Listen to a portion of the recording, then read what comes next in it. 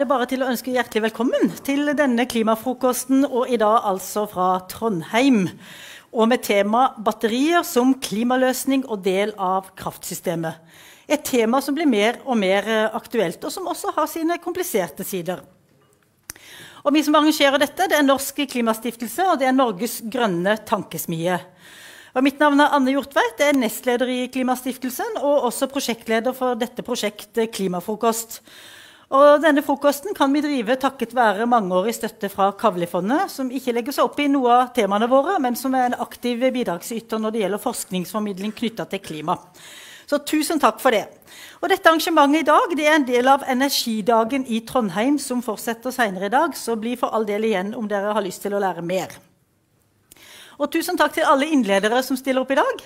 Og tusen takk til publikum, både i salen og også det store digitale publikummet som vi pleier å ha. Litt om Norsk Klimastiftelse eh, fra vår formålsparagraf, sånn at dere skjønner konteksten med de samlingene her. Og det er rett og slett at vårt allmennyttige formål det er formidling av kunnskap og forslag fra anerkjente kunnskapsmiljøer altså universiteter og forskning osv. Og, og slik skal vi bidra til tiltak, offentlige som private, som leder til rask reduksjon og stans av menneskeskapte klimagassutslipp. Så det er jo en stor jobb. Og der prøver vi å gjøre litt. Ikke minst takket være alle våre gode samarbeidspartnere i akademia. Og De siste gangene vi har vært i Trondheim og hatt klimafrokost, så har vi hatt tema om to veldig viktige klimaløsninger, og det er vindkraft som klimaløsning, og så er det solenergi som klimaløsning. Og Denne gangen skal vi belyse noe av det som er helt nødvendig etter hvert som nettopp andelen solkraft og vindkraft øker i verdens eh, kraftmiks. Det er batterier. Og Her forskes det mye, også i Trondheim, på dette temaet og verden over. Eh, og Forskere fra NTNU og Sintef har kommet hit i dag for å fortelle om det som de har av kunnskap på dette feltet, og hva som skjer. Så takk til dere igjen. Og Som en del av vår forskningsformidling så gir Norsk Klimastiftelse ut det vi kaller for temanotat. Eh, splitter nytt i dag så er dette, Det kom fra trykkeriet borti gata her nå. Eh, to grader notat, temanotat, batterier som klimaløsning. Så det kan dere enten laste ned fra nettsida vår, eller så kan dere ta med dere. Vi har trykka opp noen få i papir. Eh, så var det bare en liten foil jeg skulle vise her. Det er jo ikke veldig mange år siden at det hette seg at batterier er så dyrt at det er vanskelig å se for seg at de kunne konkurrere på pris og som klimaløsning i kraftsektoren. Men som dere ser, batterienes kostnadsutvikling den, den gikk jo litt lenge under radaren. Men ser dere det er en rosa der? Se hvor fort det har gått. Og Man har hele tida snakka om hvor fort prisnedgangen har gått på sol og på vind. Men på batterier har det gått enda fortere. Eh, så det er jo eh, en av de tingene som gjør at vi kan stå her i dag og snakke om batterier som en veldig viktig klimaløsning. Eh, og det skal vi få høre mer om. Og først ut i dag så er Magnus Korpås. Du kan bare komme opp.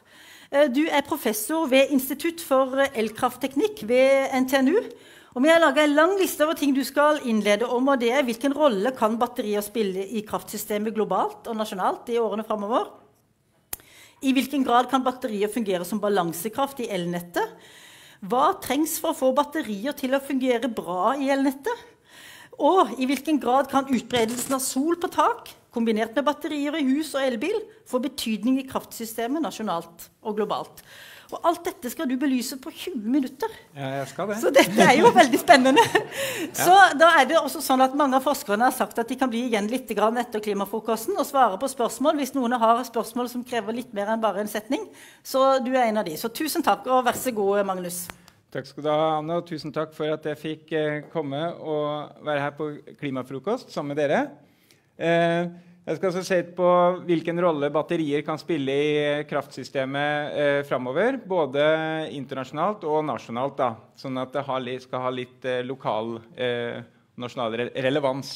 Og, eh, og, som han sa, så er eh, grunnen til at vi eh, prater om batterier, er at vi har en reell kostnadsreduksjonsutvikling som da går måte, hånd i hånd med kostnadsreduksjonene i vind og sol, som gjør at vind- og solkraft er konkurransedyktige i dag.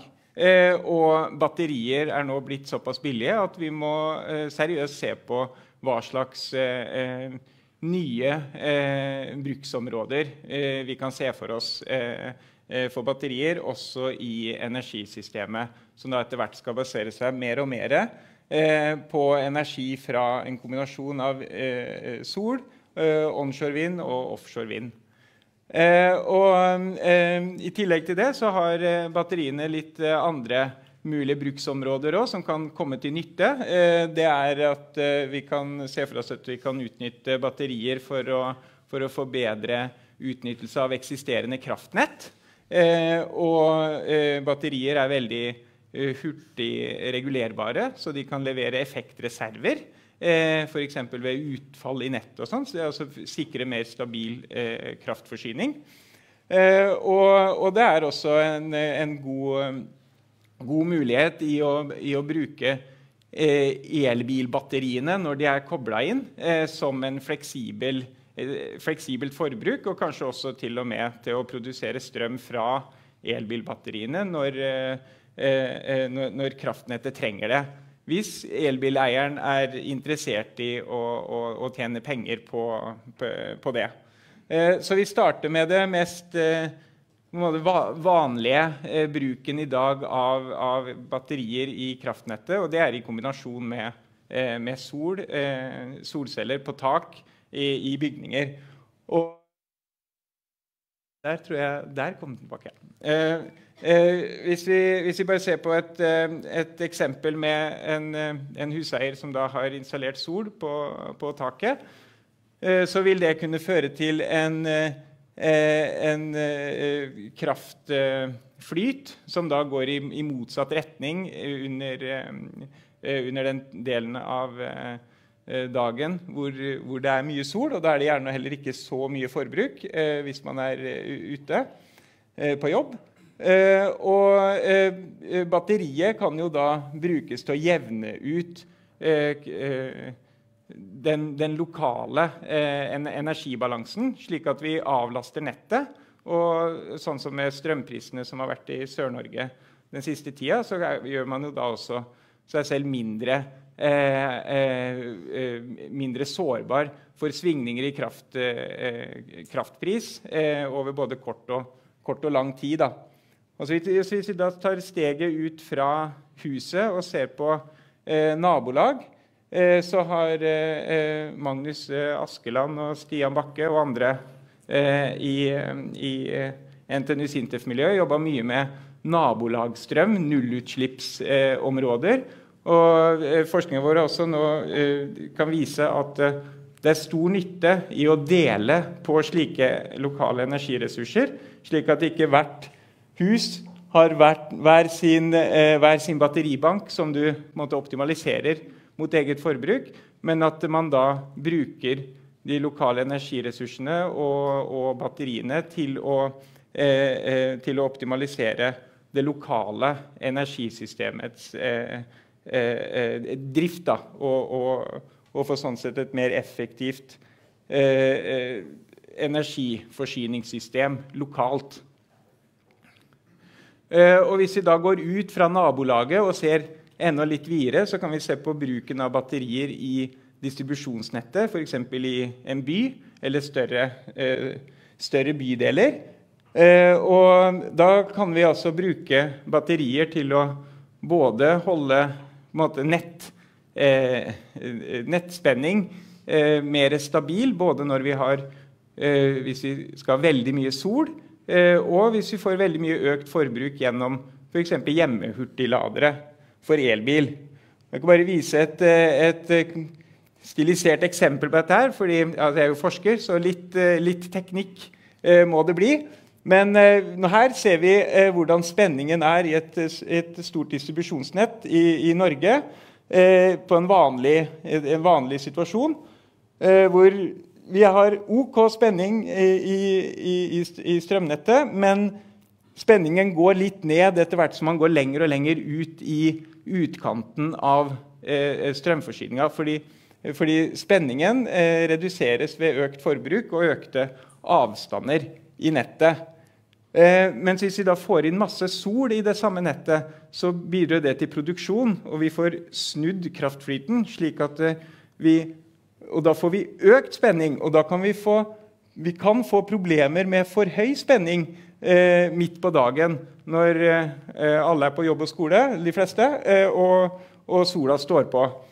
Eh, og et, eh, et, batteri kan da hvis vi går her til klokka tolv med samme solinstallasjon som vi hadde i, i, i første scenario, hvor vi tenkte oss at alle husene i dette, dette nabolaget har, har solceller med da batterier enten i hvert hus eller på gunstige plasseringer i nettet, kan da bidra til å holde spenningen nede i, i, de timene med mest sol.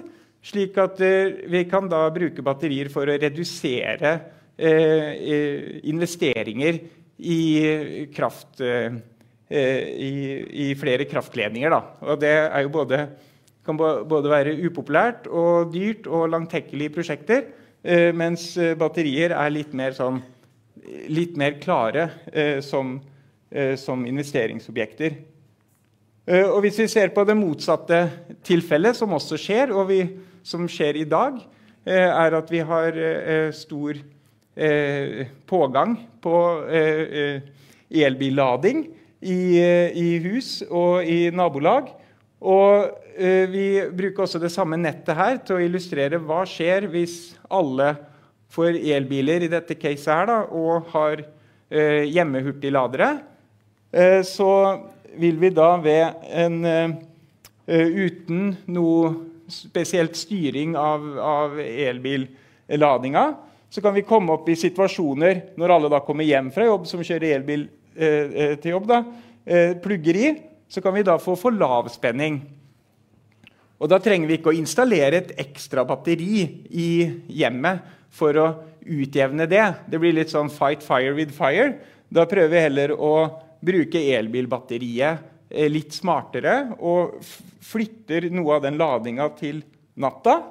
Og da holder vi da spenninga innafor eh, grensene, og vi kan dermed ut, utnytte det eksisterende kraftnettet bedre eh, og, og redusere behovet for nettinvesteringer. Eh, og enda et steg lenger eh, enn det er hvis vi tar og eh, utstyrer bil- og ladesystem med såkalt vehicle to grid-funksjonalitet. Som gjør da at vi ikke bare kan holde igjen lading når det er gunstig, men vi kan også levere effekt til nettet når netteier eller strømmarkedet eller transmisjonsnettselskap gir god betaling for det. Da.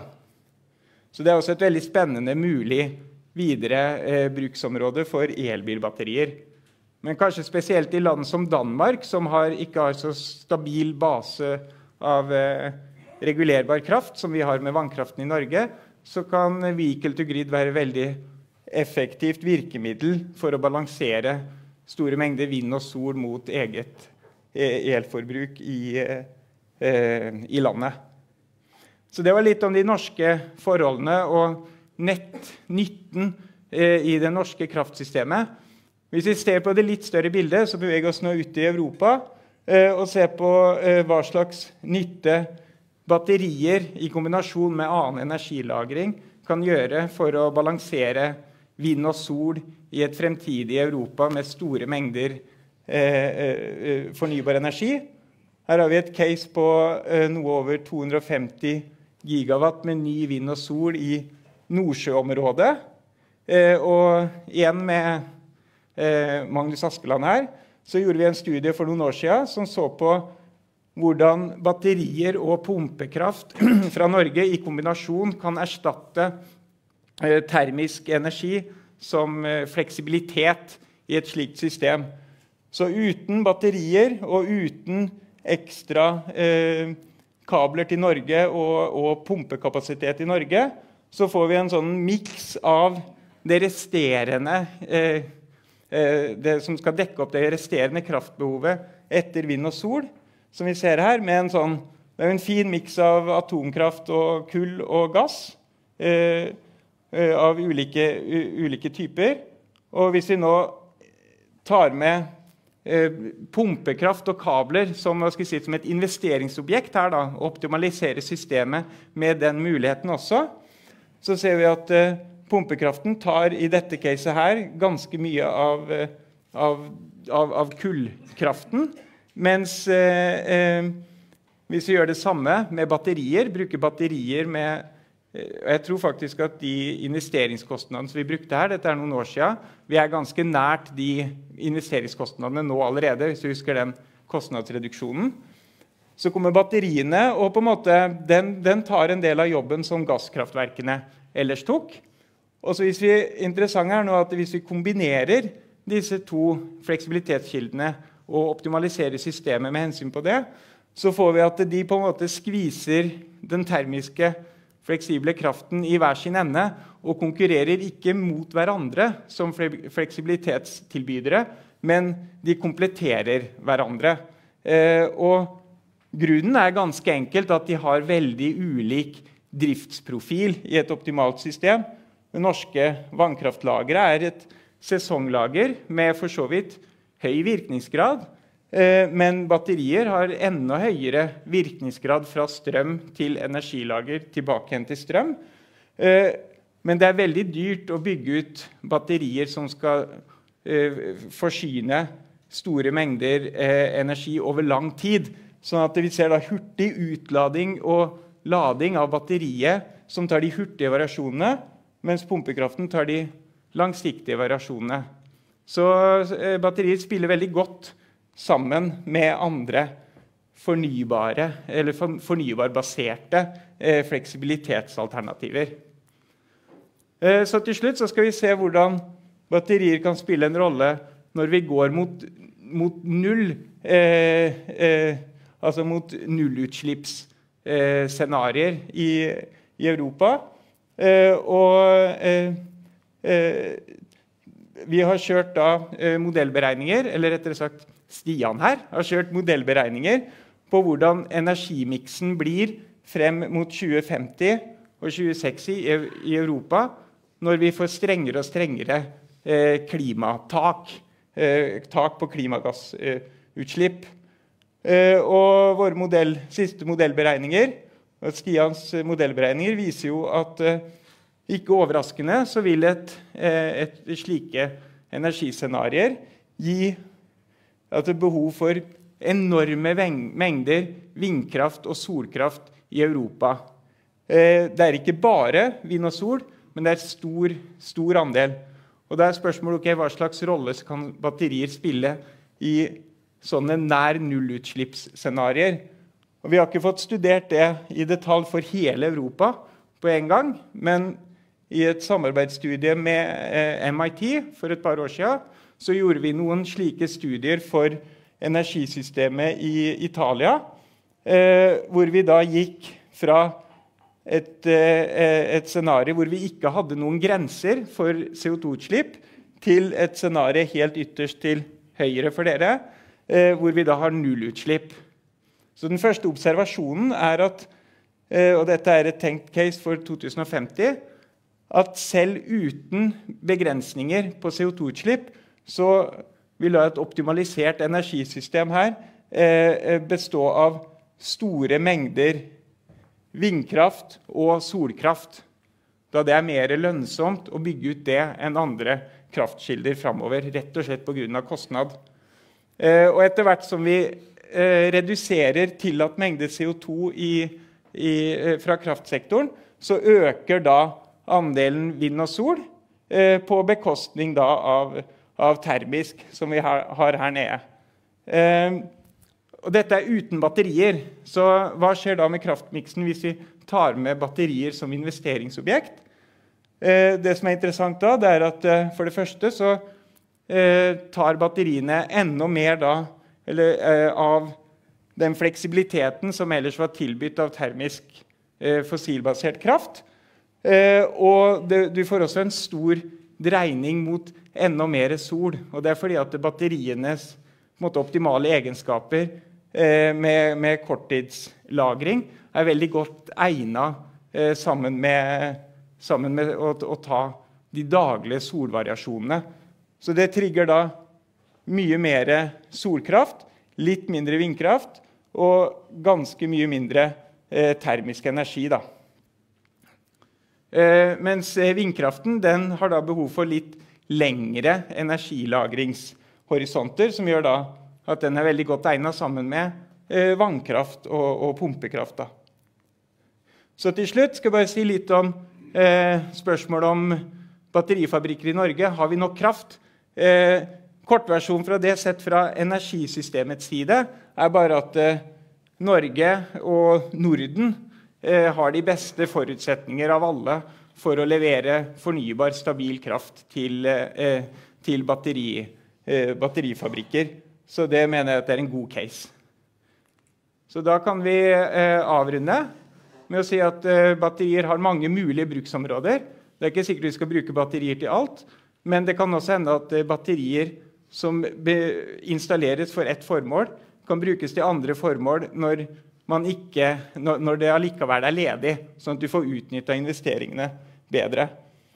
Eh, og det er utvilsomt en eh, viktig eh, del av Europas klimaløsning frem mot 2050.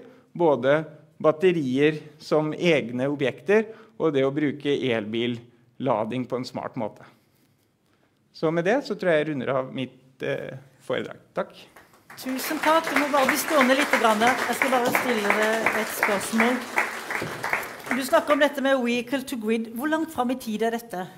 Ja, altså, teknologien er, er der. Mm. Så det handler om forretningsmodeller. Eh, hvor, hvor, langt, hvor, hvor, lenge det er til vi ser det. Det, det går på nytteverdien eh, for brukerne. Og eh, altså hvor, hvor, mye betalt de kan få, og hva som er nytteverdien for, for nettselskapet eller, eller strøm, strømleverandører. Da. Så teknologisk er det klart. Det er ikke spesielt dyrt. Eh, men eh, men du må ha en forretningsmodell som gjør det attraktivt å velge det. Det, jo, det jeg ikke har vært innpå her, er jo, er jo degraderingseffekter av batterier. Ja, Forklar litt hva er det ja, så Når du bruker et batteri, så reduserer, eh, så, så, så reduserer, du kapasiteten noe på det. Så det er klart at hvis du skal bruke et bilbatteri som, til som vehicle to grid, så er det nok først og fremst for å være tilgjengelig som en effektreserve i tilfelle noe gærent skjer. Det kan være god betaling for det, men du slipper å bruke det så mye til det. Så det liksom ikke går utover batteriets levetid. Da. Hvis du ser på Norge som en stor gassnasjon, hvordan kan dette med mye sol, mye vind og også batterier på toppen av det, kan det hva kan det få bety for eksporten av gass? Jeg tror at eh, eh altså gass eh, eh, altså Store volumer av gass til kraftproduksjon eh, ser i hvert fall vi at det, det, det, det vil bli mindre volumer eh, av, av, gass til kraftproduksjon framover. I hvert fall i for, forhold til eh, våre scenarioer. Så da må man jo Det som ikke har gått så mye inn på, er jo hvordan avkarbonisere hele altså energisektoren, varmesektoren, i mm. Europa. Eh, og det er, eh, det er krevende. Eh, det har ikke vi gitt svaret på her. da. Så det kan jo være at det er en rolle for gass inn mot, eh, inn mot varme og, og, transport. Da. Og gasseksport eh, i form av eh, eh, hydrogen, da, hvis Europa vil ha vårt eh, gassbaserte hydrogen. Det er tema for en annen klimafrokost. Men ja. det er veldig lett å blande dette med, dette med kraftsystemet og dette med varmesystemet i Europa. Ja. Det er lett å blande de to tingene. Kan du bare kjapt forklare oss? Ja, så Jeg har jo da snakka om det el... Eh, eh, elkraftsystemet i Europa. Og det er en eh, formidabel oppgave å avkarbonisere det alene. Eh, men i motsetning til Norge så er jo stort sett så har jo Europa bruker jo gass som, eh, som til, til, varme. Og, og, det å omlegge et, et, varme, altså et gassbasert oppvarmingssystem i Europa til, til elektrisk varme, det går jo an. Vi klarer det jo her. Eh, men, eh, men, det krever jo utvikling på veldig mange andre fronter samtidig. da. Det krever også to timer. Men tusen takk. Du blir også igjen en liten stund, ikke sant? Det vet du. Ja, Applaus til Magnus. Tusen takk. Da er det neste innleder som kan komme opp, og det er vel en av dine studenter, tror jeg. Og det er rett og slett Stian Bakke. Uh, og du skal snakke om hvilke utfordringer kan oppstå med mer solkraft i distribusjonsnettet. Hvordan sikrer vi effektiv bruk og utvikling av strømnettet, og hvilke løsninger konkurrerer med batterier for å utjevne effekter? Du er altså Stian Bakke, du er forsker ved Sintef Energi, og ordet er ditt. Takk for det. Eh, ja, biveileder eh, Magnus Korpås. Eh, da. Jeg har eh, levert, levert, doktorgraden i eh, juni. Skal disputere eh, snart. takk for invitasjonen. Jeg venter litt på slides. Å oh, ja. Takk. jeg har delt min, mitt innlegg inn i tre. jeg skal snakke først litt om samspillet mellom sol og strømnett eh, før jeg går inn i fleksibilitetsressurser. Eh, litt ulike alternativer der. Eh, og så skal jeg snakke litt om effektbasert eh, nettleie. Eh, og hvorvidt den egentlig får til det den prøver på. Oi, her går det fort. Eh, den eh, strømregninga som norske strømkunder får, den er delt i tre. Vi må betale noen for å produsere strøm. Eh, for å transportere strøm. Eh, og så må vi betale skatter og avgifter. Og for norske kunder så er forholdet mellom disse tre eh, delene av strømregninga omtrent like store. Så hvis du har et eh, solcelleanlegg, eh, så har vi da en eh, politikk i Norge som går på netto avregning. og det betyr at når du bruker den solstrømmen som produseres, samtidig som den produseres, eh, så sparer du på hele den strømregninga. Så alle de tre elementene. Både knytta til nettleie og avgifter og produksjon. Eh, men hvis du havner i en situasjon der du har eh, overskudd, altså at du produserer mer solkraft enn eh, du klarer å bruke, Eh, så havner du i en situasjon der du eh, kun får betalt som produsent eh, oftest. Det er noen unntak her, litt avhengig av hvilken kunde du er, og eh, om du eh, har små volum, som du har i overskuddssituasjonen. Eh, men i det store og det hele så er det sånn. og det er jo dette som gjør at det er tre ganger så lønnsomt å installere solceller hvis du klarer å bruke det innafor ett og samme kundeforhold med dagens avregningsstrukturer. Eh, og så er det sånn at strømnettet eh, i Norge det er regulert.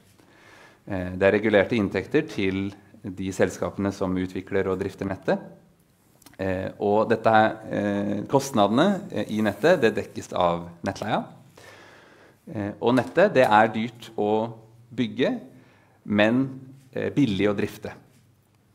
og så er det da en gang sånn at hvordan du eh, bygger, eller hvor du skal bygge, hvor mye du skal bygge, og til hvilke kriker og kroker i, i landet, det henger veldig sammen med eh, driften. Altså hvor er det vi bruker strøm, og hvor er det vi produserer eh, strøm. Så her er det en, en, eh, en link. Eh, I Norge så har vi eh, en ganske spesiell situasjon med et ekstremt elektrifisert samfunn. Og det stammer tilbake igjen fra at vi har hatt veldig mye billig vannkraft lenge. Eh, hvis vi sammenligner oss med Danmark, som har omtrent like mange mennesker, så ser vi at eh, profilen Dette her er da strømforbruk time for time gjennom året 2012. Eh, og da ser vi at det er eh, først og fremst mye mer strømforbruk i Norge, som er den blå eh, eh, linja. og så har vi en mye større sesongvariasjon. og dette er i stor grad knytta til at vi har elektriske oppvarmingsløsninger i bygg. Eh, og et litt kaldere klima også da enn Danmark. Eh, som gjør at vi får eh, mye høyere eh, strømlaster eh, på vinterstid. Og strømnettet det må jo dimensjoneres for de situasjonene som vi har på vinteren. Eh, så det gjør at vi får en ganske stor forskjell i utnyttelsesgraden på det strømnettet som vi har mellom sommer og, vinter. Og hvis vi installerer solceller, så her har vi da simulert eh, produksjon for væråret 2019 for Powerhouse eh, Brattøra, som vi har her i Trondheim. Eh, så alle de røde søylene her de, de eh, symboliserer det å produsere strøm fra eh, solcellene time for time. Eh, og vi ser da at er vi heldige i en klar vinterdag i januar-februar, så kan vi faktisk ha ganske bra produksjon fra disse solcellene. Og det kan sammenfalle ganske godt med eh, høye laster i strømnettet. Men i det store og det hele så er vi i situasjonen her borte. Eh, Og det er altså sånn at eh, solcellene de, eh, presterer ganske dårlig når vi har de høyeste lastene i nettet generelt sett. Eh, så solceller alene de bidrar ikke til at vi trenger mindre strømnett i Norge. Og derfor trenger vi da fleksibilitetsressurser. Eh, og jeg skal snakke litt om eh, noen nøkkelressurser som er ekstra viktige i Norge. Det første er ladbare eh, batteribiler, som Magnus også nevnte.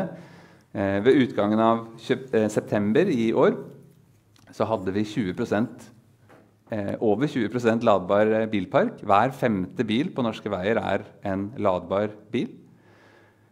og biler de er faktisk sånn at de stort sett står parkert Eh, utrolig nok. Eh, godt over 90% av tiden i noen tilfeller. Og dette her gir jo en enorm mulighet for å kunne styre hvordan du skal lade bilen når den står parkert, gitt at den er kobla til et ladningspunkt. da. Eh, og hvor, hvor, raskt du skal lade osv. Så, videre. så her har du potensielt mye fleksibilitet.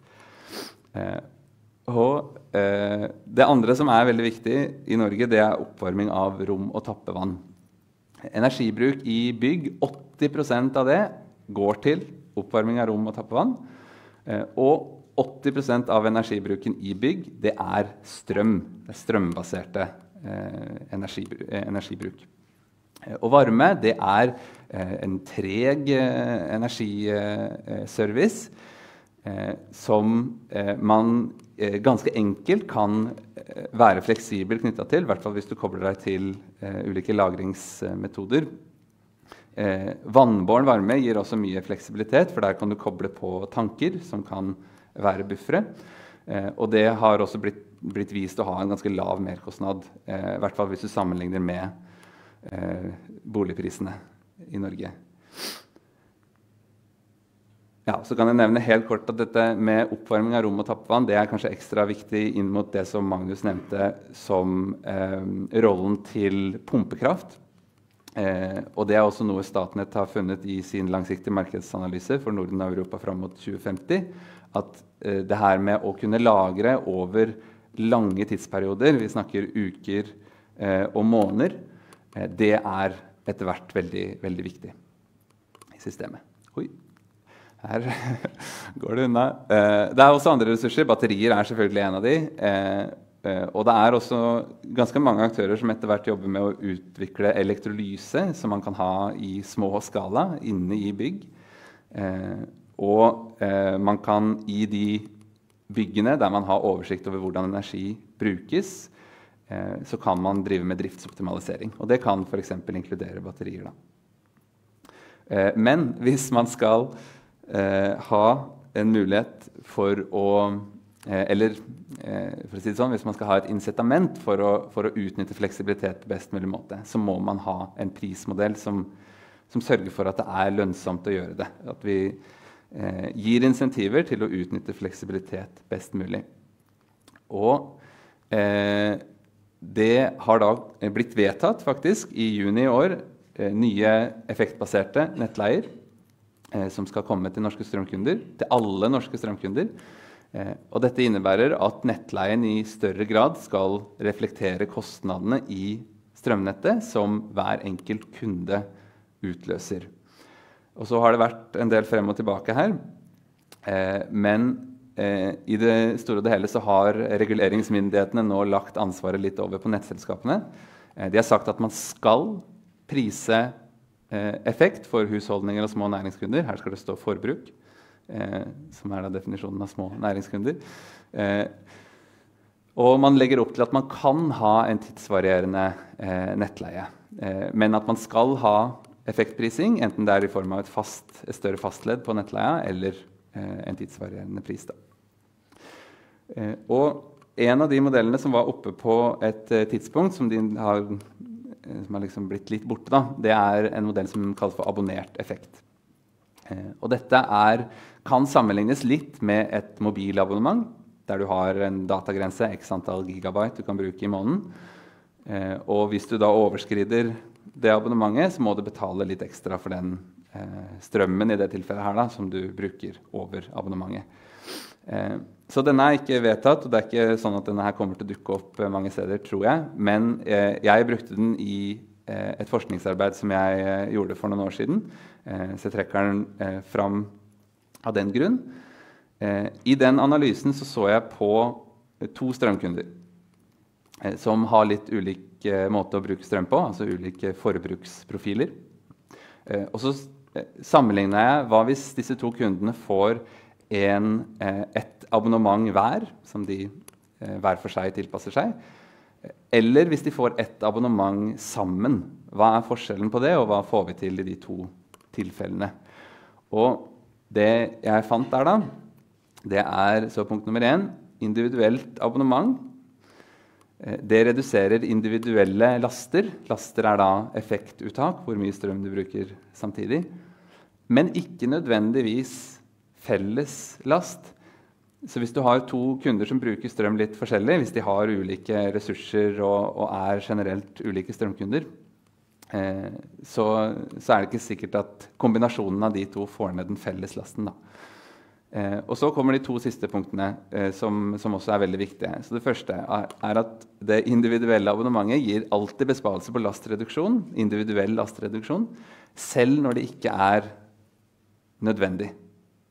Eh, altså selv i de timene der du ikke har noe verdi av å drive med besparelser, eh, får du en besparelse på det. Så det blir på en måte en, en, unødvendig besparelse som bør unngås. Og det henger tett sammen med det siste punktet, som er kanskje det viktigste.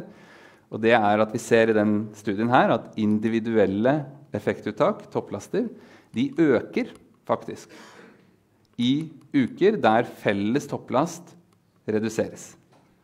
Eh, og det må vi ikke straffe. fordi hvis vi gjør det, så eh, kan vi ikke, da muliggjør vi ikke eh, at man tilpasser seg en felles eh, løsning eh, og sørger for at det, eh, det felles abonnementet eh, kan Den felles lasten holder seg så lav som mulig, gitt at det er den som er dimensjonerende for strømnettet. Og det er ofte tilfellet. så med det takker jeg for meg. Kanskje Magnus skal, Askeland da, også skal få svare litt på uh, problematiseringa her ja. i sitt innlegg. Men dette var høyst interessant, så du kunne jo gjerne holdt på, holdt på lengre. Men vi kan jo gjøre et intervju med deg på energi og klima eller i en annen sammenheng. Er det noen som har et spørsmål her, så har jeg mikrofonen her. Hvis ikke så blir vel du også igjen eh, en liten stund etterpå. Mm. Så da bare ett spørsmål jeg hadde. Dette her med, eh, med uh, det siste du nevnte. Hvordan kan batterier påvirke det siste du nevnte. Ja, Batterier er jo, er jo en ressurs som gjør at du kan utjevne effektuttak eh, på samme måte som de andre fleksibilitetsressursene som, som ble nevnt. Eh, så, så, batteriet spiller jo en rolle, men én ting er jo å ha batteriet, en annen ting er hvordan bruker du det. Ja, men kan nordmenn, altså Vil man kunne klare, vil hver enkelt forbruker kunne klare å sette seg inn i dette og nyttiggjøre det på ja, en måte? Ja, sånn, ja. ja nei, det, det, er jo et godt spørsmål. Og, og, her er det jo noen strømselskaper som er veldig eh, frampå. Eh, og tanken eh, er jo at disse type eh, leveransene av fleksibilitet kan i stor grad automatiseres og i stor grad eh, styres av eh, algoritmer osv. Som, som følger med på hva som skjer i, i strømmarkedet, og, og, planlegger i forhold til det. Da. Så dette er ikke noe hver enkelt skal sitte og tukle med. Det er noe som eh, man legger, eh, legger ansvaret over på en, en som leverer sånne eh, modeller. Mm. Men da jeg installerte solceller hjemme, så sa han som kom og installerte de, at nå må du huske at når du går på jobb, så må du lade elbilen din, mm. så må du skru på vaskemaskinen og tørketrommel hvis du har, og gjøre alt det, det, det, tjener du penger på. For da slipper jeg da Ja, da fikk jeg den, der tre, den graderte tregreia der. Så det er jammen sant. Hver sommer så får jeg da betalt for det jeg selger. Du sparer så, mer i hvert fall. Ja. Sparer og får betalt. Tusen takk skal du ha, og bli igjen til slutt og still han gode spørsmål. Og lykke til med disputeringen. Det kan jo bli spennende. Tusen takk. Da er det neste innleder. Det er Magnus Askeland. Da kan du bare komme opp. Du er også forsker ved Sintef Energi. Og så er du stipendiat ved Institutt for elkraftteknikk ved NTNU. Og du skal innlede om desentralisering av energiressurser i et fleraktørperspektiv. Hvordan kan vi utnytte batterier og fleksibel forbruk på best mulig måte for områder som en helhet? Og hvordan kan fleksibelt forbruk tillate utbygging av ladeinfrastruktur til elbiler med minst mulig nettutvidelse? Store spørsmål. Vær så god.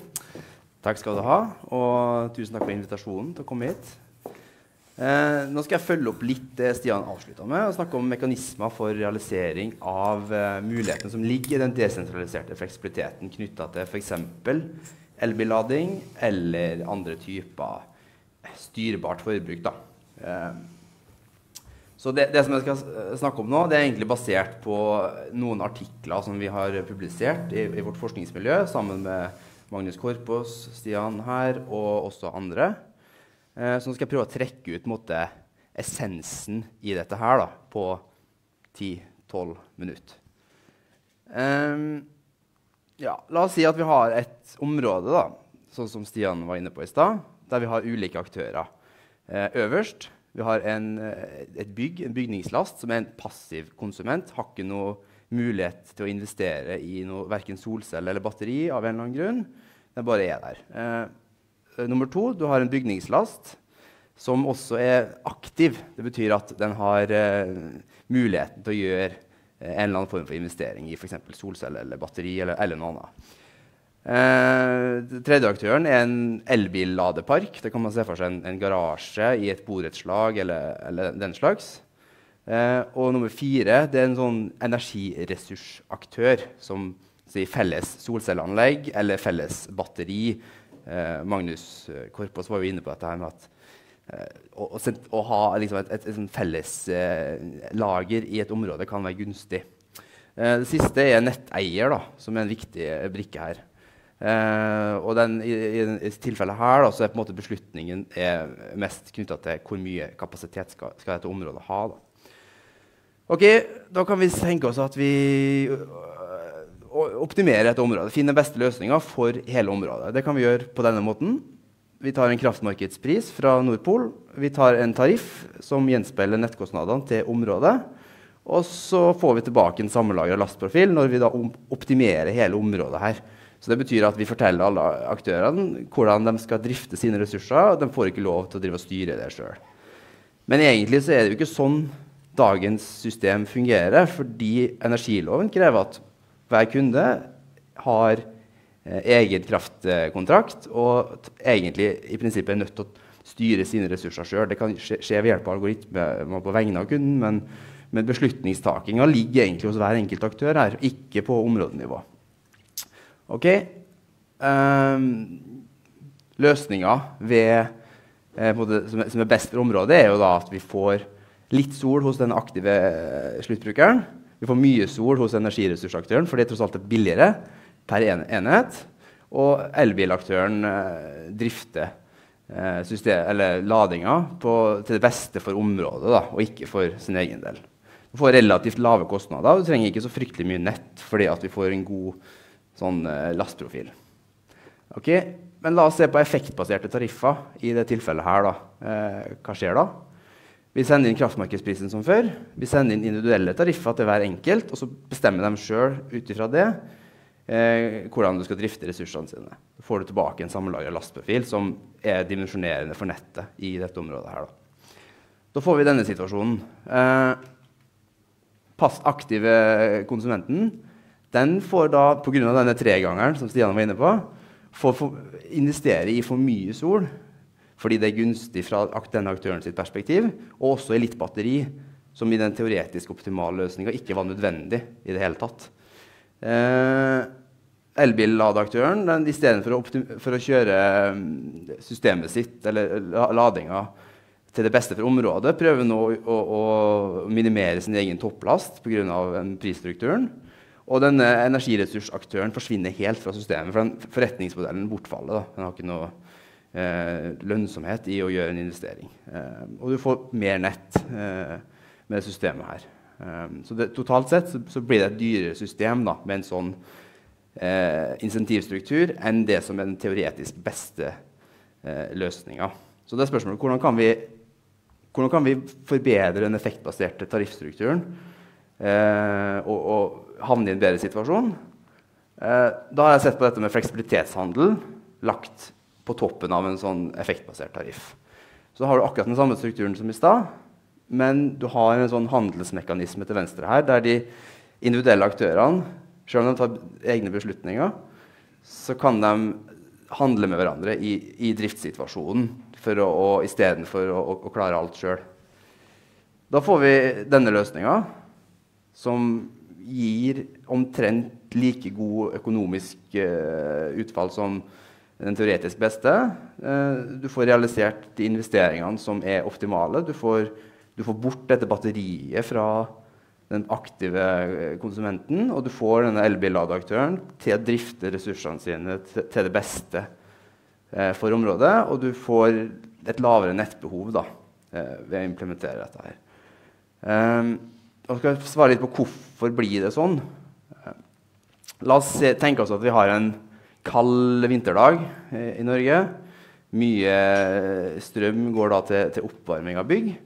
Og da får vi dette fundamentale problemet her. Du har noe fleksibelt forbruk som da kan være flatt eller kan tilpasse seg. Og så har du det ikke-fleksible forbruket som ser sånn ut. Det er sånn typisk døgnprofil eh, ved at du har en, en, topp på morgenen og en topp på ettermiddagen pga f.eks. tappevann eller middagslaging eller den slags. Så da er spørsmålet Det er egentlig ikke om å gjøre å få disse fleksible til å ha en flat last, men det er om å gjøre å få dem til å tilpasse seg til den ikke-fleksible lasta.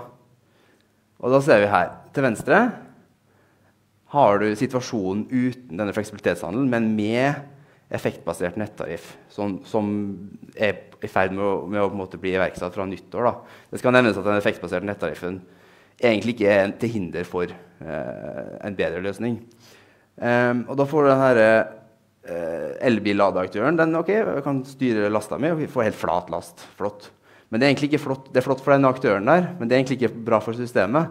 For ved å implementere fleksibilitetshandel så får vi den situasjonen som heter høyre, der du ser at den ladinga er høyst variabel men den tilpasser seg til hva som er situasjonen i nettet. Sånn at du får lada mye når det er plass i nettet, eh, og lada lite når det er rushtrafikk i, nettet. Da. Så den, du utnytter fleksibiliteten på en bedre måte på områdenivå ved å gjøre det sånn. Ups. Og fra områdelastperspektivet så blir det seende sånn her ut, ved at du får senka disse gule toppene som er uten koordinering.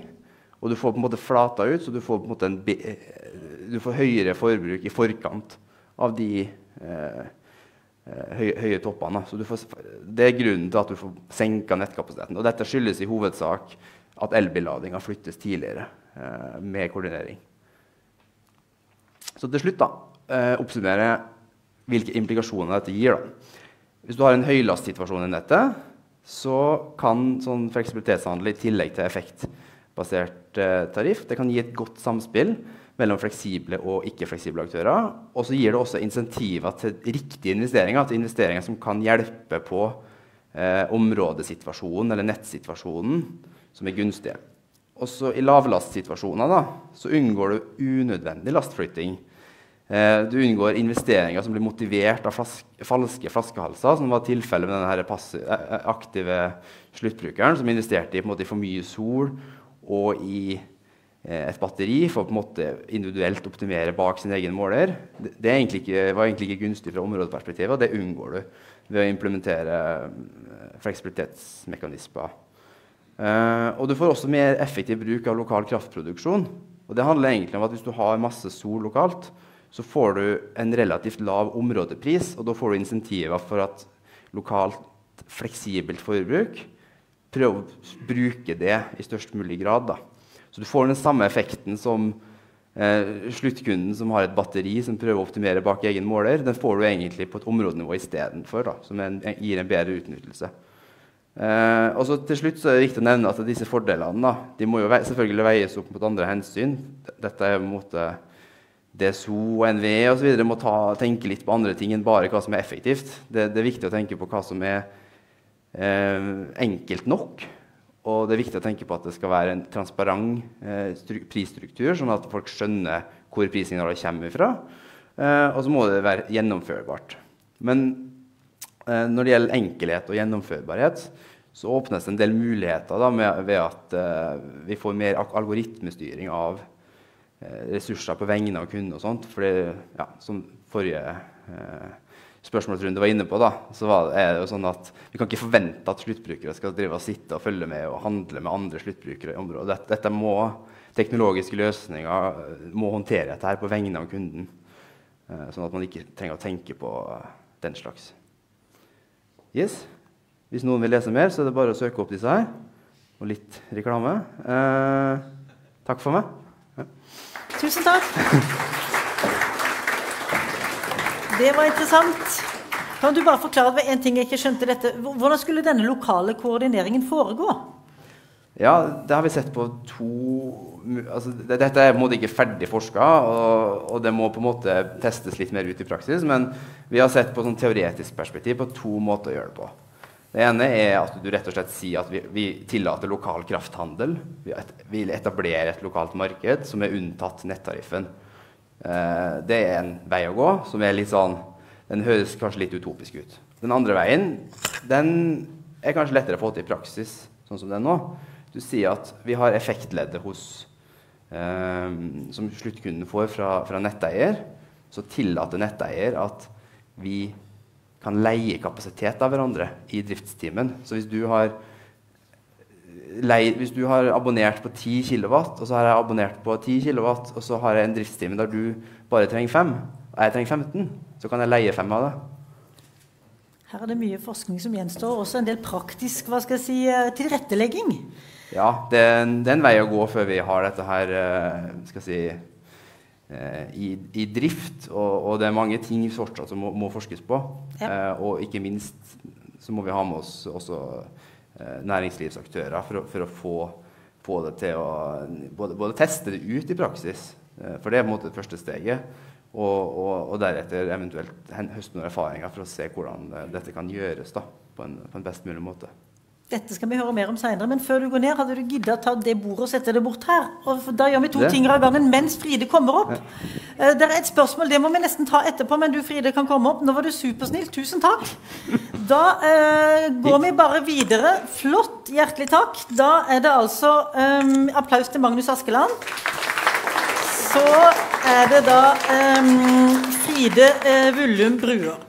De neste årene skal vi her i Norge erstatte mange av de rundt 140, 139 000 arbeidsplassene som Statistisk sentralbyrå eh, har regna ut fins i og i tilknytning til oljenæringen. Leverandørindustri, service osv.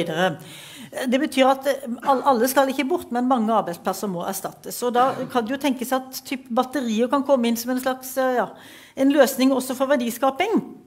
Så hvilket potensial har vi i Norge for jobber, næringsvirksomhet, verdiskaping og eksport knytta til batteriproduksjon og batterienes verdikjeder?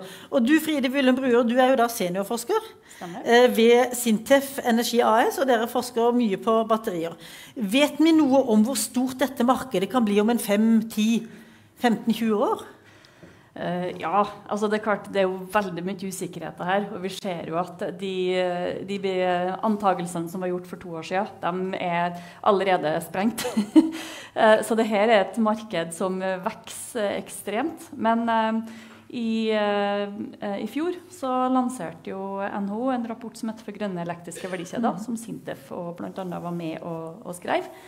Uh, og der er det jo antatt at innen 2030 så skal omsetninga på batterier bare i Norge være på ca. 9 milliarder euro. Uh, og innen 2050 er det antatt at det kan kanskje doble seg. Uh, så, så, det er snakk om ganske store, store verdier. Og det som òg har vært antatt, er at innen rundt 2050 så vil det være et behov for ca. 5000 gigawatt-timer med batteriproduksjon årlig. Eh, og jeg ser for meg at kanskje det tallet øker enda mer. Da. Og Hvor stor andel av kaka liksom, internasjonalt tenker du at Norge kan ta hvis man er tidlig ute? Nei, det, det er jo antatt at eh, på eh, Altså av det europeiske markedet så tenker man at Norge bør kunne ta i hvert fall 5-10% av det markedet. Mm, det er jo ikke småtteri. Eh, men hva slags type arbeidsplasser er det snakk om? Hva slags kompetanse trenger man? Uh, utdanner man de man trenger mest på NTNU? Ja, Eh, altså nå vi jo en voldsomt etterspørsel etter kandidater fra den voksne batteriindustrien, spesielt da Morrow, Freyr og, og Beyonder, som er de tre store initiativene nå i, i Norge. Eh, og, og, der er det jo eh, alle kandidater som har materialbakgrunn, elektrokjemi, altså de som kommer fra miljøet til Magnus og rundt der. Altså det er veldig etterspurte kandidater. Eh, og det er stor mangel på kompetanse. I Norge? Ja. Eh, norsk, altså det, Universiteter klarer ikke å utdanne nok kandidater for øyeblikket i forhold til det industrien trenger. Så nå så rekrutterer også industrien masse kompetanse fra utlandet. Um, så det, her er det bare for NTNU å kjøre på. men Vi snakker nå om dette med uh, kompetanse, arbeidsplasser. Men um, hvem konkurrerer Norge mest med når det gjelder batteriproduksjon? Hvilke land? Um, nå, det er jo batterifabrikker og initiativer som kommer over hele Europa nå. Mm. Uh, du har jo spesielt kanskje det som har kommet lengst, uh, eller Et av de som har kommet lengst, er jo i Sverige, Northvolt. De skal jo òg bygge fabrikk i Tyskland. Um, og I tillegg så har du som sagt, det, er mange, det er ganske mange initiativer rundt omkring i Europa. Uh, og så har du naturligvis for Fram til nå så har jo over 95% av battericelleproduksjon har foregått i Asia. Hovedsakelig i Kina, Japan og Sør-Korea. Uh, og de vil jo fremdeles være konkurrenter. Uh, men når det er sagt, da, så tror jeg at sjøl med alle, all den planlagte produksjonen som er i Europa nå, så tror jeg fremdeles, fremdeles ikke det klarer å dekke eh, hele behovet som vil være om 5-10-15 år. Sånn at eh, det, det, vil være behov for alle batterifabrikkene som er under planlegging nå. Det snakker du også mer om i dette notatet vårt som vi gir ut i dag. Det kan dere ta med dere etterpå. Eh, og så er det dette med investorkapital. Altså, det koster jo vanvittig mye å etablere en batterifabrikk. Ja. Eh, så spørsmålet er har man denne kapitalen. Går kapitalstrømmene i de riktige ret mm. retningene nå? Mm. I ting man trenger i et lavutslippssamfunn? Går de dit? Og til batteri? Det, det har vært litt sånn det klart er en bekymring. Mm. Um, og spesielt sånn I Norge så ser vi at det som industrien har etterspurt, og det er risikovillig kapital. Gunstige skatte- og avgiftspolitikker fra, uh, fra regjeringa. Um, Uh, og, men det er klart, nå ser vi jo sånn som Freyr. De har jo fått amerikanske investorer. Uh, European Investment Bank er veldig på, på markedet mm. og, og investerer. Så, så, det er klart uh, det, det, har nok vært litt sånn treghet i systemet, men vi ser en positiv trend på investeringssida òg. Så det er absolutt. De tre andre innlederne vi hadde, noen av de snakker om dette med behovet for fornybar kraft. Altså skal du ha Eh, skal, skal, man over og produsere mer industrielt, drive batterifabrikk, så trenger man jo mer kraft. Mm. Har man nok kraft i Norge per i dag? Jeg tror eh, Magnus allerede svart på det. ja, du, må, du, må gå, du, må, gå, litt rundere inn i det. Men eh, ja, altså, jeg tror jo vi har det. Altså, klart, Norge er jo kanskje en av de landene i Europa som er har de gunstige forhold nettopp for å etablere batterifabrikker. Eh, vi har tradisjon for å kunne bygge opp kraftkrevende industri. Eh, se bare på aluminiumsindustrien f.eks.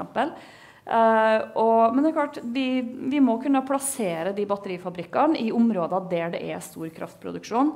Uh, det er jo en av grunnene til at uh, Freyr har plassert seg i, i Mo i Rana. Og det er jo bl.a. pga. krafttilgangen. Men de har jo også sagt at de trenger flere vindturbinparker? da? Jo, og det er klart, det, det er veldig kraftkrevende industri. Men jeg tror ikke jeg skal bevege meg inn på den diskusjonen. Det, det vi å sånn, gjøre hos oss. vepsebol. Vi blir helt nødt til å diskutere dette her, så sånn er bare det. Men, men Nei, altså, oi sann! nei, jeg tror på sikt at vi, vi, skal klare å håndtere det kraftbehovet som de batterifabrikkene har. Ja. Ja. Og det er jo mye spennende på gang når det gjelder batterifabrikker i Norge, så vi får bare håpe og se så er det dette som er viktig med bærekraft. Og mange spørsmål som kom inn til oss da, vi, da folk skjønte at vi skulle ta opp dette temaet i dag, mm. det gjelder dette med batteriproduksjon, råvarene, hvor kommer de fra, mm. og osv. osv.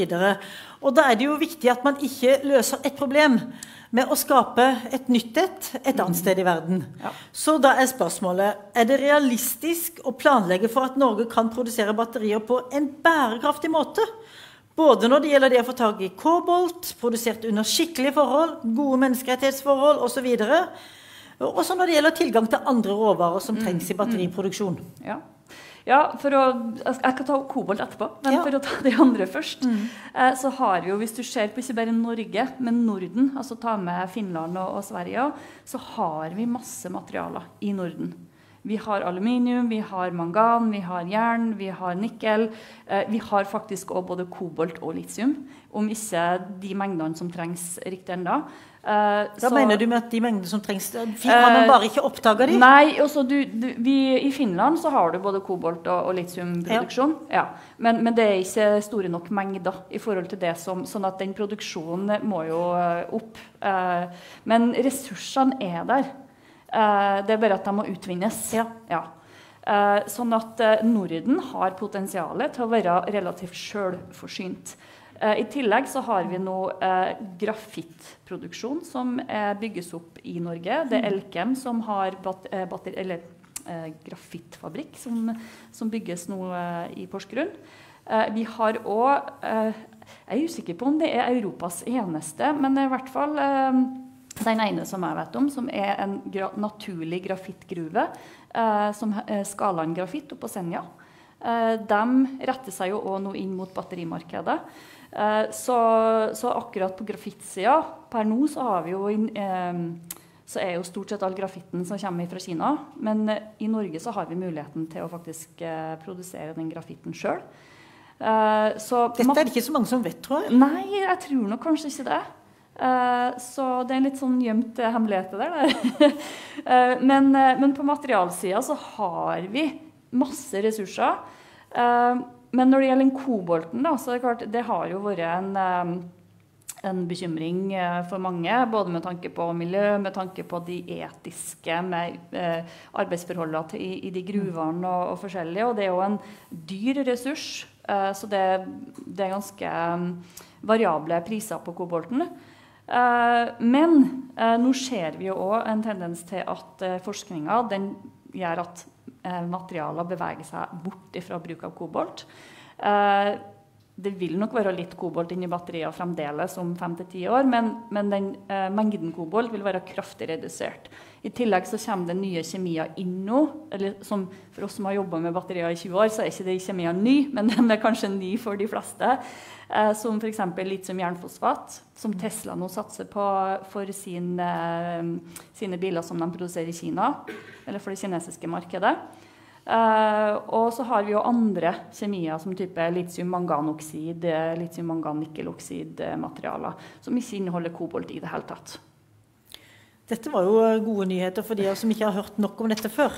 Eh, dere to eh, politikere, folkevalgte, dere kan bare gjøre dere klar, for dere har to spørsmål igjen her. Eh, finnes det potensial for verdiskaping og arbeidsplasser knytta til resirkulering og gjenbruk av batterier? Absolutt.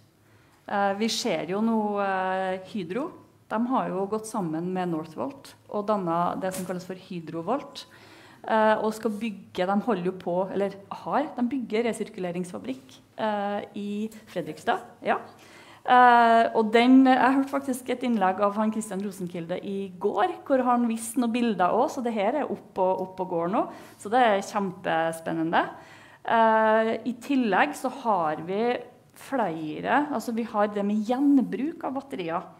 Uh, som kommer fordi Bilbatterier som har gått en del kilometer, de egner seg kanskje ikke så godt i bilen lenger, men de kan fremdeles brukes i andre anvendelser, som type stasjonære anvendelser, som vi har hørt om her tidligere i dag. Uh, og vi har flere norske aktører blant annet, som nå er på det markedet. Vi har en aktør her i Trondheim som heter Chainpro, som uh, jobber med å bruk, ta brukte uh, batterier fra elbil blant annet, og inn i nye anvendelser. For å forlenge livsløpet til batterier før de til slutt går på resirkulering. Så, så, her, eh, så, her, har vi absolutt store muligheter til å være først i et marked, fordi ja. Norge var tidlig ut med elbiler. Og det gjør at vi òg får større mengder batterier som kan gjenbrukes. Her var det mye lovende, syns jeg. Ja, det er det. Ja. Men da kan vi ha som en overgang og siste spørsmål før da politikerne bare kommer opp her nå. Det er Hvis du hadde fått tid med statsminister, som nå er Jonas Gahr Støre, for å snakke om norsk batteriproduksjon, hva ville du ha sagt? Og hvilke rammebetingelser ville du ha bedt om? Du, det, som, det, som, er det viktigste, og som òg vet alle de battericellefabrikkene, de som jobber med det nå, eh, legger vekt på, det er hurtighet. Altså hvor fort de klarer å bygge opp det her. Mm. For at alt skjer så fort. Eh, Norge har vært litt treg i sessen av og til med å få etablert eh, ny industri. Det har gått litt på konsesjoner og det har gått litt på tilgjengelig areal. Tatt litt for lang tid å få på plass nye industriområder. Eh, så det er litt det å få ting fort i gang. Uh, og der tenker jeg at myndighetene kan være en driver og, få, og, og bidra til at ting kan gå litt fortere. Så at man ikke bruker fem år på å bare få alle tillatelser og konsesjoner på plass før du kan begynne å bygge. Det må skje nå. Men det var en fin avslutning. Du blir ja. også igjen, for vi rekker noen ja. spørsmål på slutten. Da kan dere to folkevalgte, folkevalgte komme opp.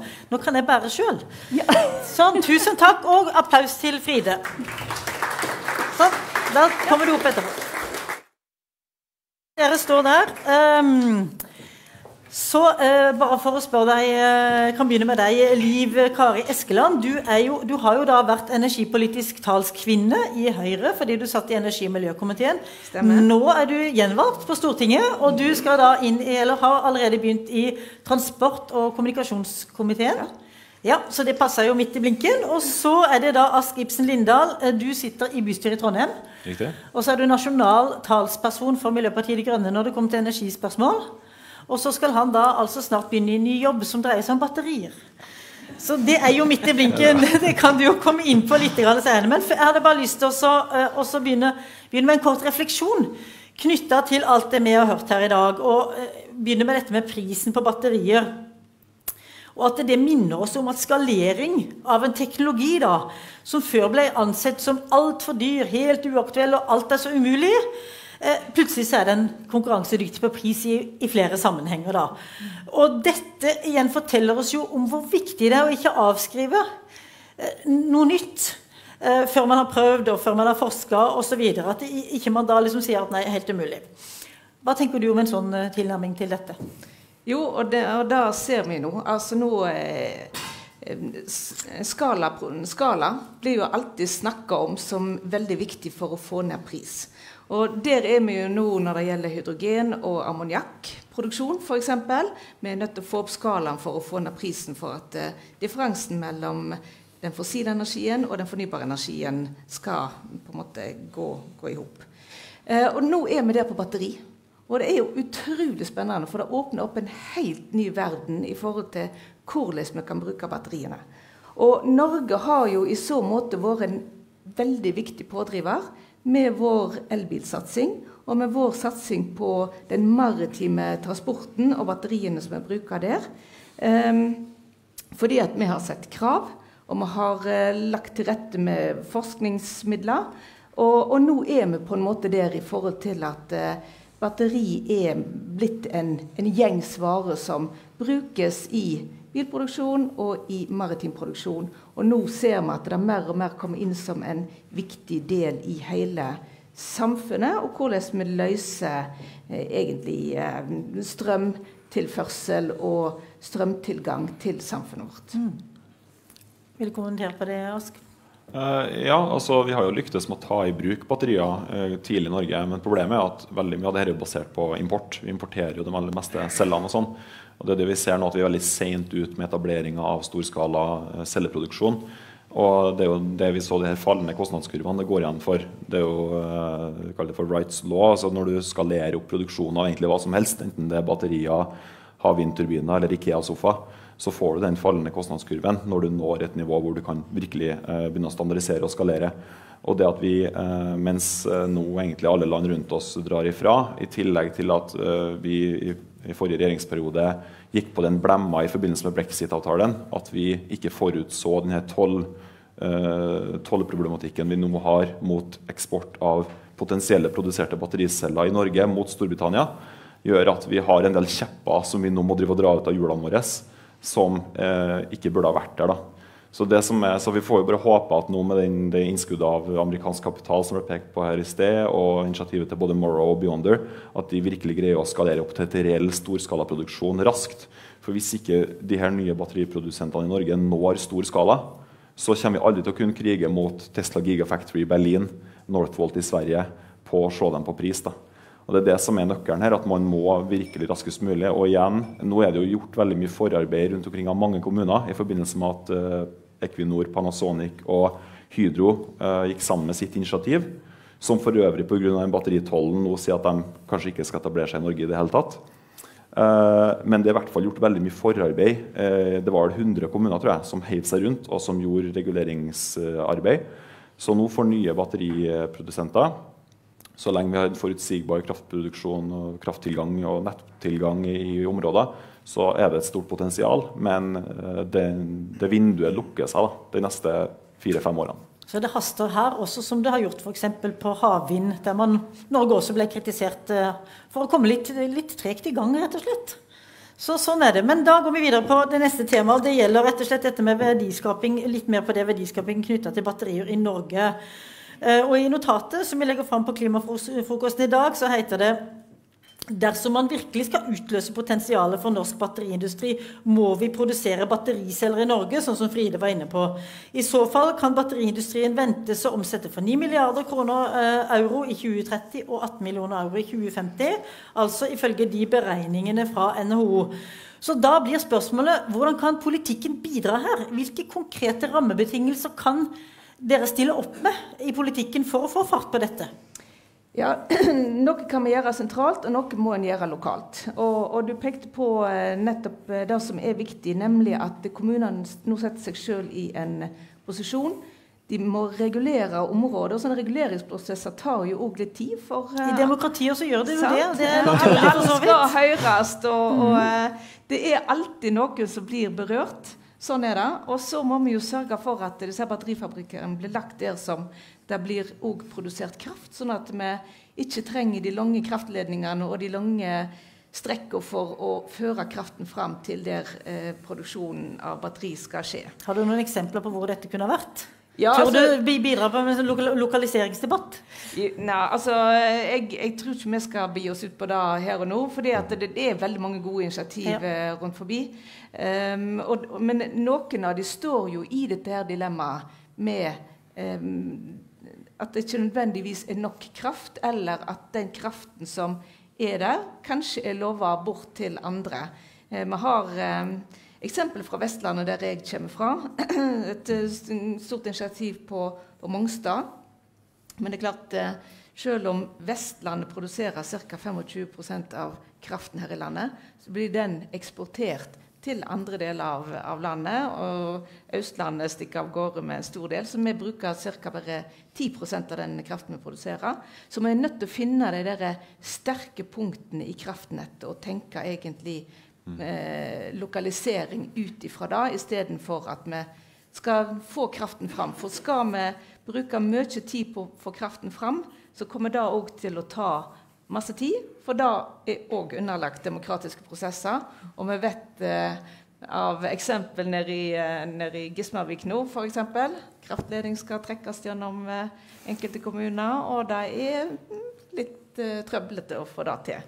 Så, så den der kombinasjonen med areal, at du har kraften tilgjengelig, eh, den blir viktig. Og så, Da trenger vi litt sånn djerve politikere som setter seg i førersetet og sier at eh, nå må vi samle kreftene. Eh, det gjorde Rettedal i sin tid i Stavanger når han sa at her skal oljehovedstaden ligge. Vi legger til rette her skal det være. Eh, og, og, og, litt sånn må òg næringsliv og lokale myndigheter eh, sette seg sammen og, og, tenke, tror jeg. Så det er en utfordring du har til eh, lokale og regionale myndigheter, da? Ja. Og så er jo du tilgjengelig, og dere som sitter på Stortinget tilgjengelig for å samarbeide om dette. For jeg tror man må stå litt sammen skal man få ja, frigjort, frigjort arealet og ja, oppdratt befolkningen til at det kommer til å skje en del ting når det gjelder både industriutvikling osv. i Norge framover. Og så er det én ting til. Og det ble veldig godt belyst her eh, avslutningsvis. Det skjer veldig masse forskning på området. Så vi er òg nødt til å sette av forskningsmidler til dette. fordi vi har på en måte ikke konkludert med hvilke material som nødvendigvis skal brukes i disse batteriene. Her er det masse vi kan gjøre på området, så vi trenger òg forskningsbiten. Og der kommer vi inn i bildet som nasjonale myndigheter for å legge til rette både med, med midler og med forskningsmiljø for at dette skal skje. Godt poeng, og sikkert vel, vel, tatt imot i denne sal. Og så var det deg, eh, Ask, med dette med konkrete rammebetingelser. Hva tenker du der? Som skal inn i industrien for så vidt nå? Nei, altså, nå ble Det pekt på å si, eh, det er mye kraft som forsvinner ut av området. og Vi har jo en debatt gående nå. Nå er det veldig mye kraft som skal sendes til sokkelen for elektrifisering. Og så har vi så fått, i forbindelse med energimeldinga fra din minister, skal jeg si, Tina Bru, så har vi fått nedsettelse av Nakstad-utvalget.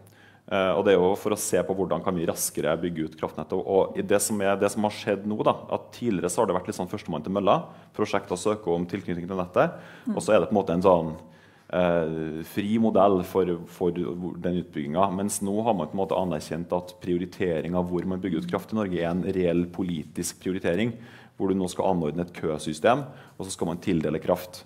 Uh, og det som jeg er redd for, er jo at vi får en sånn blankofullmakt for elektrifisering av veldig uh, energibruksmessig ineffektive prosjekter uh, på sokkelen. Til ulempe for prosjekter på land, sånn som på Vestlandet, hvor du vil ha masse kraft som mokkes ut mot Kolsnes og ut på feltet. Og så går det forbi alle de her potensielle industriprosjektene som må søke nordover for å få kraft. Men når vi først er inne på Nakstad-utvalget For det som ble nevnt her i sted av de her dyktige forskerne våre, er at uh, hvis du virkelig vil gjøre noe for utvikling av hvordan vi bruker energisystemet vårt, og i hvert fall med tanke på fleksibilitet og utvikling av eh, markeder for de her batteriteknologiene, så må Nakstad-utvalget også se på hvordan man skal legge til rette for lokal produksjon og fleksibilitet i, det, i distribusjonsnettet. Og da er det jo noen har jo nettopp blitt signert av ordføreren og fylkesordføreren her et brev til Nakstad-utvalget som jeg håper som jeg skal sende deg også. Hva var det for noe? Det er et brev som går på at man må legge til rette for endring av energiregelverket for hvordan vi kan utnytte fleksibilitet eh, lokalt. For Problemet i dag er at hvis jeg er en stor næringskunde, jeg har et digert takareal, 2000 kvadrat med tak, så lønner det seg ikke. for Det er kjempe samfunnsøkonomisk nytte i at jeg kan legge solceller på det taket og avlaste nettet hvis det gjøres riktig. Men bedriftsøkonomisk, som meg for næringskunde, så lønner det seg bare å legge solceller på 10% av det taket. Fordi jeg kan ikke selge den strømmen til mine nærliggende naboer uten å selge det ut på nettet, og så må de kjøpe det tilbake igjen. Så det er en, en forespørsel som går helt konkret på hvordan kan vi legge til rette på det som Askeland peker på i sted her. Hvordan kan vi legge til rette for å faktisk få raskt på plass eh, grunnlaget for de her lokale markedsmekanismene for å få utveksling av nabolagsstrøm. Fordi at Hvis vi greier å krysse denne potensielle kjempestore samfunnsøkonomiske nytten i fleksibilitet kobla med lokale batteri- og fleksibilitetsløsninger, eh, og vi greier å gjøre det også bedriftsøkonomisk lønnsomt for aktørene som skal stå for de her investeringene i nettet, så, så har vi et kinderegg. Og hvis Norge kan endre regelverket og gå i front på det, for da vil vi være i front både i Europa og i verden på å få til denne type bruk av kraftnettet, så vil vi hente en kjempegevinst i det. For vi vil etablere et marked for batterier og fleksibilitetsløsninger. Vi vil avlaste kraftnettet vårt og potensielt flytte store investeringer fram i tid. Og vi vil kunne eksportere de her løsningene senere. Så, og, men det må skje nå med en gang mens det Nakstad-utvalget jobber. og Derfor må dette brevet fra Trondheim kommune og Trøndelag fylkeskommune tas inn og tas seriøst. Og man må få til de endringene i eh, kraftreguleringa vår, sånn at vi kan få sparka i gang en satsing på lokale fleksibilitetsmarkeder og nabolagsstrøm og utvikling av eh, lokal kraftproduksjon nedi nettet, og ikke den sentraliserte kraftproduksjonen vi har i dag. Eh, som man har et mål i EU om å gå fra en sånn TSO-ordning til DSO-ordning og legge til rette for mer lokal kraftproduksjon. og Da må Norge gå i front og vise hvordan det skal gjøres. Kan du bidra her? Ja, det, det, var jo akkurat dette eh, Askeland var inne på i sitt uh, foredrag. Uh, og som er jo et av disse her har vært litt en av disse gordiske knutene som vi har uh, jobba med, og som Nakstad-utvalget nå skal se på. Og jeg er jo sikker på at dette her blir tatt veldig godt imot og tatt inn i, i arbeidet. For greier vi å løse disse utfordringene, så er det veldig mange andre deler av verden som òg kan ta i bruk den måten å fordele strøm på. det som har vært litt av ja, altså i dag så er det jo sånn at det er nettselskapene de har jo et monopol, og de skal jo ha dekka sine kostnader. Og Det er jo derfor det å måtte inn og ut av strømnettet det koster penger eh, for nettselskapene. og Det, det er jo på en måte det der eh, mekanismene der vi må løse litt opp i. og Derfor så tror jeg òg at eh, nettselskapene her må være med på laget. Og det gjør jo òg at de sjøl gjør seg relevante i denne diskusjonen, istedenfor å på en måte ja, sette foten litt ned og, og, ikke være bidragsytere til at dette skal skje. Fordi at det er jo de som eh, da vil både potensielt miste inntekter og eh, oppgave i en sånn eh, måte å distribuere kraften på i et eh, sånn nabolagsmønster. Ja. ja. Ja, og så tror Jeg men det er jo, jeg tror ikke det står på viljen på nettselskapene, men nettselskapene er på en måte tvunget til å være iboende ja. konservative fordi at de må forholde seg til den inntektsrammemekanismen som eksisterer i dag. Men det er nettopp det jeg mener med å få slått sammen det, fordi at det er ekstremt stor samfunnsøkonomi og store besparelser også for nettselskapene hvis det her gjøres riktig. Denne grafen som ble vist på Powerhouse uh, i sted, med at på vinteren så har du veldig stort forbruk og ingen produksjon, det, hvis du får aktører som kan si til nettselskapet at jo, men se, vi har en kombinasjon av varme, kjøling og solkraftproduksjon og batteri i vår, vårt lokale nett, og vi kan gå via den, den, det knutepunktet i det lokale kraftnettet og bruke litt av nettselskapet. Og man må ha en tariffmodell at man, ja, du betaler for din andel av spleiselaget, men sånn som i dag så betaler du full, full uh, pris liksom, uansett hva du gjør. Og det er en effektiv stopper for alt. Uh, så hvis du da kan garantere at jo, men det her sier ikke noe behov for utvidelse, det tvert imot kanskje flytter behov for utvidelse fram i tid eller bidrar til å avlaste kraftnettet i totalen, og det er jeg sikker på at Hvis man åpner opp for det her, så vil aktørene stå i kø for å tilby fordi her er det et så stort effektiviseringspotensial, et så stort potensial for inntjening for flere aktører, inkludert nettselskapene, at det er politikernes rolle å kna noe raskest mulig det her energiregelverket, sånn at det her faktisk skjer. Uh, og, da, det, og, da, er det ikke nok at man bare tar, man tar inn og ser på det som kommer. Man må faktisk ta det helt oppriktig seriøst, for her ligger det masse potensial. Og det er politikernes rolle, spesielt i din tidligere komité, energi- og miljøkomiteen, å faktisk liksom får ræva i gir og skjære gjennom og si nå endrer vi det her, til glede for alle sammen. Og Det er jo nettopp det vi gjorde i uh, den meldingen som heter 'Energi til arbeid'. Da, unnskyld, da vi satte ned dette utvalget, for vi så at her er det et behov.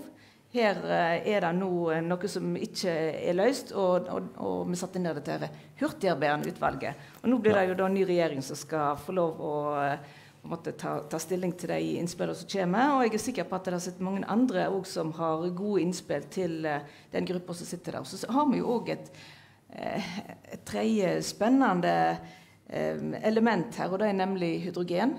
Der du i disse her toppene på, med produksjon av energi, gjerne solenergi, kan produsere hydrogen som kan eller ammoniakk som kan lagres i lengre tid enn da batteriene kan. Så dette kan bli ganske helhetlige, spennende mm. energisystem som, som, vi i Norge kan være bidragsytere til å utvikle. Og som da kan brukes i resten av verden. Og de små Men da haster det jo? Ja, det haster. Eh, og, og vi jobber så bremmer tøy kan eh, holde med nå. Eh, men, men, det må jo skje på en, en forsvarlig måte, dette utgreiingsarbeidet, sånn at vi ikke hopper over noen prosesser eller ledd som burde vært hørt, for da er det et skritt tilbake igjen før vi på en måte kommer til, til målet. Men, men greier vi dette her nå, så kan vi se at samfunn som per i dag heller ikke har eh, elektrisk strøm, eh, som kanskje står eh, i fare for å, å, å eskalere bruken av eh, fossil energi, at de da gjennom det fornybare samfunnet kan ta i bruk disse mekanismene her, som, som gjør at eh, større deler av verden kan eh, komme opp på et velstandsnivå som er litt mer akseptabelt. Og det var egentlig siste spørsmål til deg. Hvordan kan Norge bidra ut i verden med dette? Det finnes som du sa, eh, flere samfunn som ikke har elektrisitet i dag. Og før så Jeg snakka med en, en, en, eh, litt perifer venn som jobber i Afrika. som han sa når man ga anbud før, så var det gass For å elektrifisere samfunn som ikke har, så var det gass, vind og sol. Så nå er det vind, sol og batteri som er inne i anbudene. Man trenger ikke denne gassen lenger, men man trenger kapital. Så det er en utfordring også til politikerne. Ville du ha et siste ord med å fortelle hva du skal gjøre når du begynner å jobbe med batteri? Så kan, så kan forskerne komme hit, og så tar vi noen få spørsmål til slutt. Det kan bare komme Dumt opp, ja. spørsmål til sånn politikertype. Vil du ha siste ord? Nei, men altså, Nei, du, takk, du, sånn to setninger, hvis det er mulig. Åh, eh, nei, men uh, både batteri altså, Nå skal jeg Nå har noen flotte framtidige kollegaer som står i dag, og inn og jobber, går ut fra politikkgreiene over på å bidra i industrien eh, med å bygge opp da flytcellebatteri. Eh, en teknologi det er snakka altfor lite om, også i det papiret her. Eh, fordi du nevnte hydrogen. Og jeg har vært veldig, blitt veldig bekymra av hydrogendebatten i Norge, for den er veldig prega av hype og veldig lite av fundamentale sammenhenger. Fordi hydrogen og ammoniakk må liksom være en sånn last resort fordi det er enorme tap forbundet med en produksjon som vi får veldig lite ut av. Så hydrogen i dag er et egentlig relativt lavverdig produkt. Uh, fordi du har, i hvert fall lager fra elektrolyse, fordi du har enorme tap. Så det er kun ved perioder av en store overskudd du ikke får kvitta med, at det vil uh, gi mening å produsere det. Så vi må se på hvordan kan, vi fra, hvordan kan politikerne da legge til rette for at vi alltid sørger for at den elektrisiteten vi har, verdens mest høyverdige form for energi. Hvordan kan vi passe på å holde den så høyverdig som mulig i alle ledd, og foredle den så godt som mulig, og ikke legge til rette for prosjekter hvor vi tar høyverdig elektrisitet og egentlig omdanner den til ganske lavverdige produkter, og man lager systemer og insentiver der man belønner den type misbruk av kraft. Eh, Det må politikerne for all del sørge for at vi unngår. Misbruk av kraft og mindre sløsing, det vil vi ha. Ja. Så eh, da var det et spørsmål her som du, jeg tror du hadde til, eh, til uh, siste, Magnus. Så da kan du bare komme hit. Du får ikke mikrofon, men du kan uh, si hvem du er og stille spørsmål. Ja, Navnet mitt er Roger Vangen. Jeg kommer fra Enova.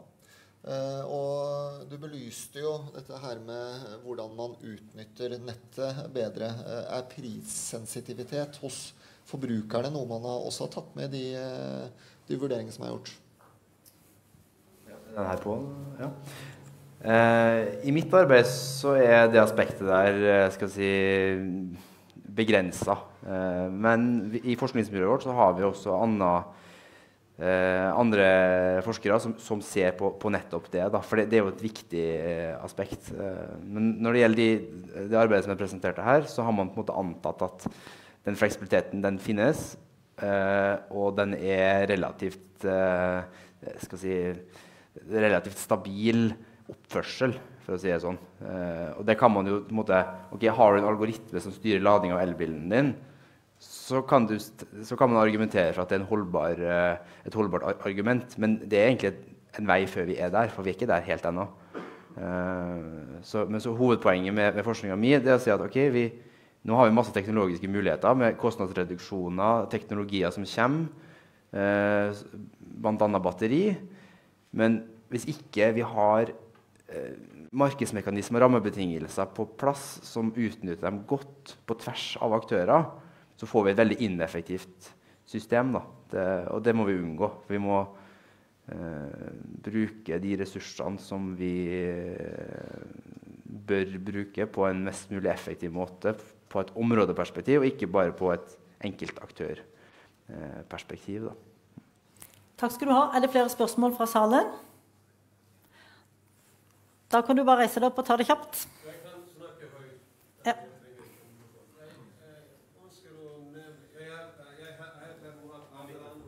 Ja.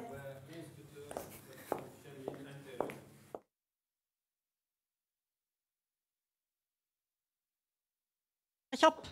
Den. Det er egentlig jeg kritiserer mest. Vi har bare fire-fem minutter, og vi hadde masse spørsmål. Og en ting er veldig viktig. Dere har tittel som klimafrokost. Og bærekraftig er veldig brukt konsept. Og de har tre piler, eller stolper. Økonomi, samfunn og miljø. Økonomi er her, samfunn også på en måte her, men miljødiskusjon eller dimensjon eller perspektiv er veldig svak.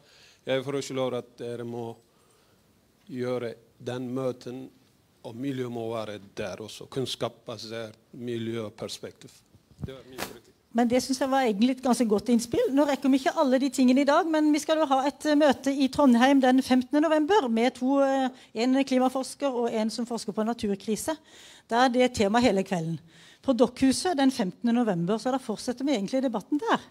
Og da er dere hjertelig velkommen klokka 19 i regi av Norsk Klimastiftelse så eh, tror jeg kanskje, hvis ikke det er så flere hender i været, at vi skal si tusen takk til alle dere som har bidratt her i dag. Og noen av dere blir igjen, for noen har lyst til å stille spørsmål på, på tomannshånd. Så har jeg også, også, lyst til å si at på fredag så har vi et klimakvarter eh, klokka 12 til kvart over 12 på vår nettside. Og da er det Nils Røkke på Sintef som kommer og skal snakke om er det mulig å kutte, eh, er det mulig å kutte liksom helt ned til null på alle sektorer. Eh, så har vi da også Den 10. november så har vi et samarbeid med Finansforbundet, som er et webinar som handler om EUs eh, Green Deal og taksonomi. Hva får det å bety for oss som kunder? Hva får det å bety for investorer? Og hva får det å bety for folk som jobber i finans? Så er det sånn at Nå er det energidager, eh, som begynner nå kvart på, ca. kvart på 11. Så følg for all del med på det, flere av dere. Og du skal være med videre. Eh, og jeg vil bare igjen si tusen takk til dere. Alt det dere har sagt, det blir jo da nå lagt ut på klimastiftelsen.no under presentasjoner. Både presentasjonene deres og selve filmen. Så del for all del med folk som dere tenker kan ha nytte av dette. Eh, for, og så prøver vi også å distribuere så godt vi kan. Alle dere som var påmeldt her i dag, dere får denne filmen og presentasjonene på e-post i løpet av en dag eller to. Så tusen takk for at dere kom, og takk for alt det arbeidet dere la ned for å presentere for oss. Og lykke til. Så da sier vi pause fram til kvart på elleve for de som skal være med der.